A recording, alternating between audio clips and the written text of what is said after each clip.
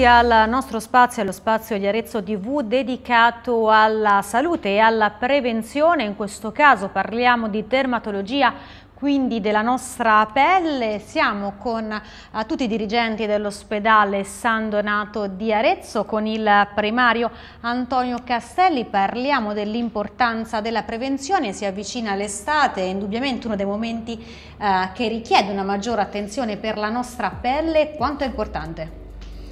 Eh, la prevenzione è importantissima perché i comportamenti poi condizionano quello può essere l'insorgenza di alcune malattie. E questi comportamenti devono essere adeguati anche al tipo di persona, al tipo di pelle. E quindi quando parliamo di mare parliamo di fotoesposizione, quindi esposizione al sole. E chiaramente eh, parliamo anche di fotoprotezione, quindi protezione ed è diciamo, una prevenzione primaria, quella appunto di evitare quelle che sono le scottature o esposizioni eccessive o un sovradosaggio da raggi ultravioletti. Questo si può fare in tanti modi, il modo più semplice è quello di mettere gli indumenti, il cappello, gli occhiali oppure mettere delle creme solari ed evitare l'esposizione nei momenti in cui le radiazioni sono più forti, più, eh, dove le radiazioni UVB, quelle che sono un po' più dannose perché hanno maggiore energia, sono, eh, ricordiamo che dopo i raggi UVB ci sono i raggi X, quindi sono delle radiazioni importanti, fortunatamente vengono schermati negli strati più alti dell'atmosfera, è minima la quota che arriva sulla Terra, comunque nelle ore del mezzo del giorno queste sono preponderanti, sono il momento in cui ce ne sono di più, quindi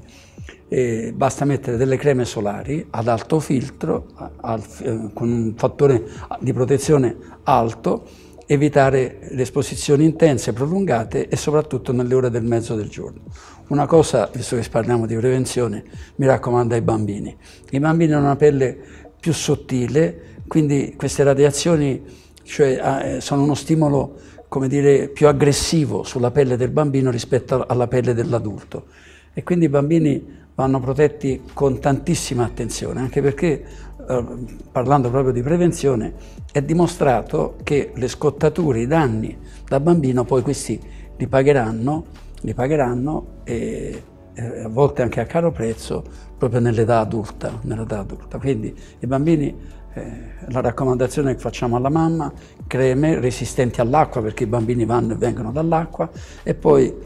alle, massimo alle 12 ma meglio alle 11 e mezza portarli via dalla spiaggia. Una prevenzione che passa però ovviamente anche tramite dei controlli, quali sono i servizi che eh, sono offerti all'ospedale? Certo, bravissimo. Allora, la prevenzione, qui parliamo sempre eh, tumori cutanei, non melanoma, ma eh, diciamo, la nostra attenzione si focalizza sul melanoma, perché il melanoma è un tumore molto aggressivo, estremamente maligno e sappiamo tutti, perché l'abbiamo detto, l'abbiamo ripetuto,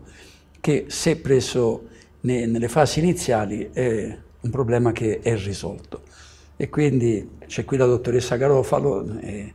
e quando io sono venuto ad Arezzo la prima cosa che eh, noi ci siamo riuniti e abbiamo detto qual è la cosa più importante? Ecco, fare una prevenzione secondaria e quindi la diagnosi precoce del melanoma.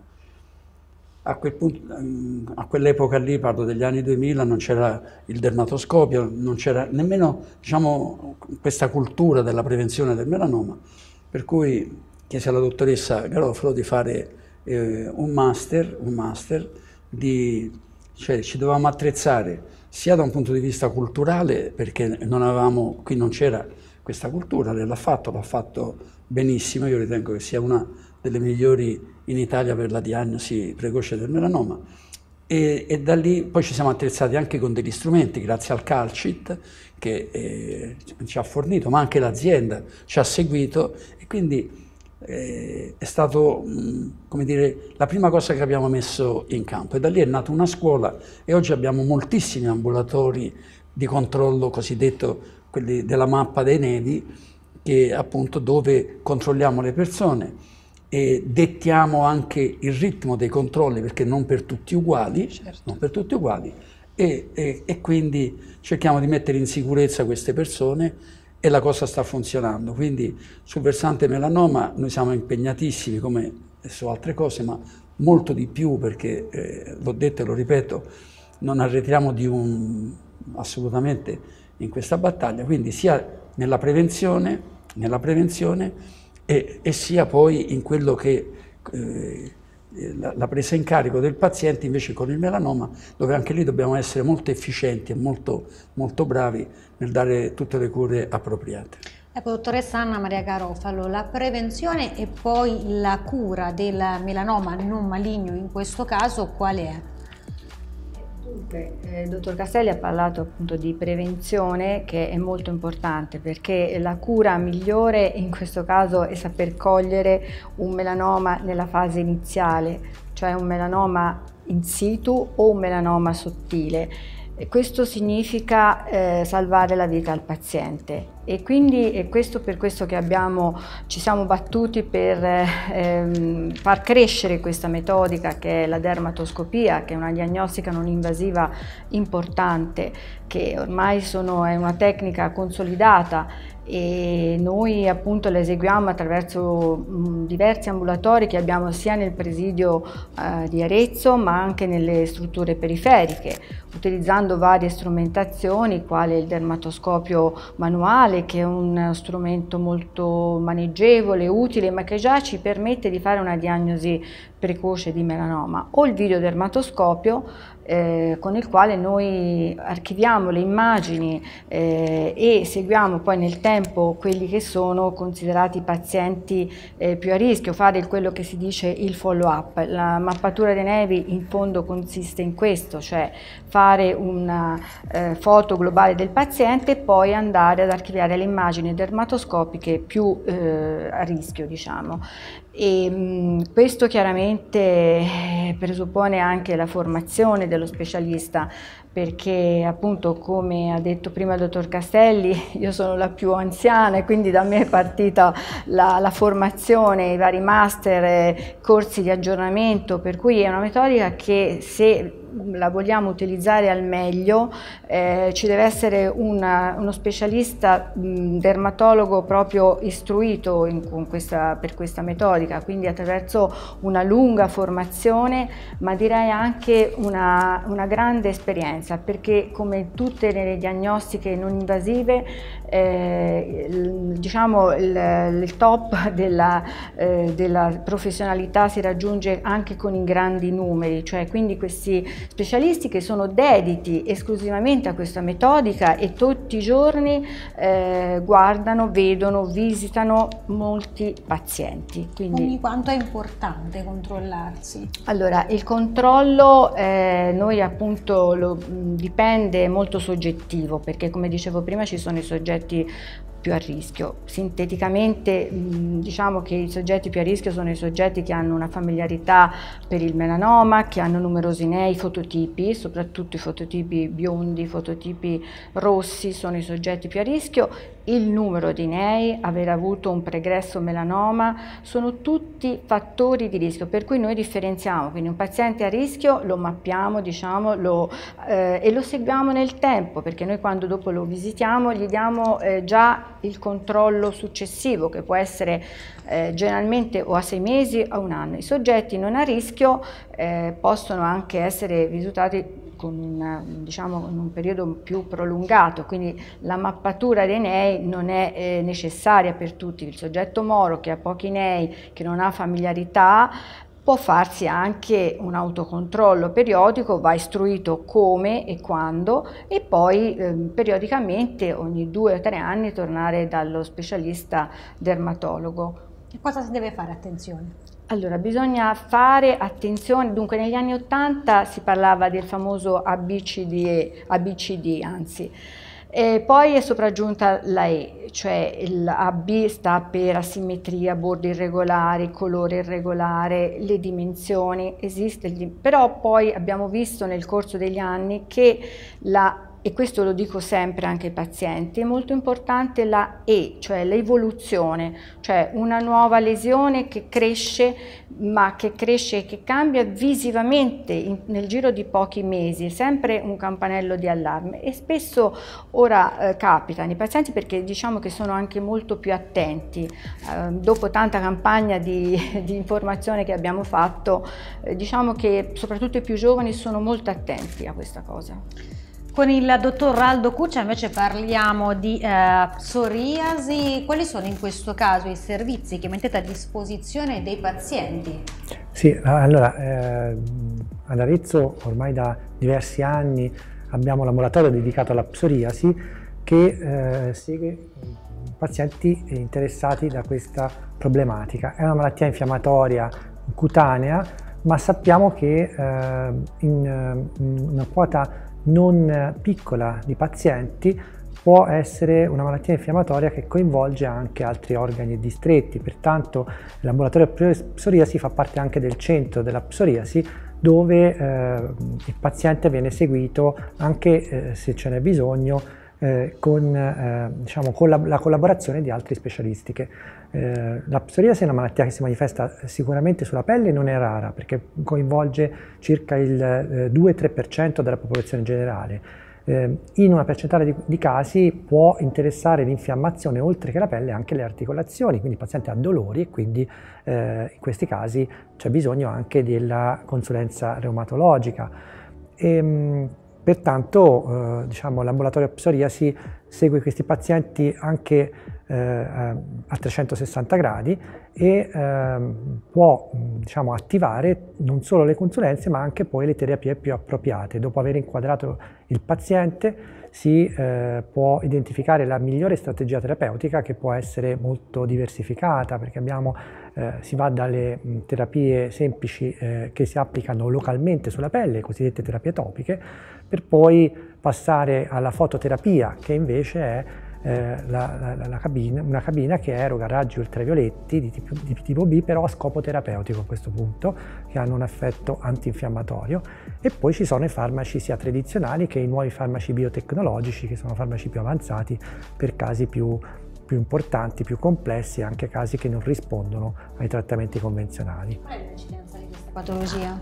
Allora, è un'incidenza eh, relativamente alta, è una delle cause più, è una delle motivazioni più frequenti per, le, per, i quali i pazienti si rivolgono eh, eh, nell'ambulatorio dermatologico. Quindi diciamo che pensiamo che eh, se in, in un, su 100 persone almeno due, in almeno due casi abbiamo la psoriasi, quindi diciamo 2-3%. Ecco, un ultimo aspetto del quale insomma, abbiamo piacere di parlare con la dottoressa Sabrina Mazzoli è quello che riguarda le allergie che riguardano la nostra cute. Ecco, sotto questo aspetto cosa possiamo trovare all'interno dei nostri ospedali? Allora, nel,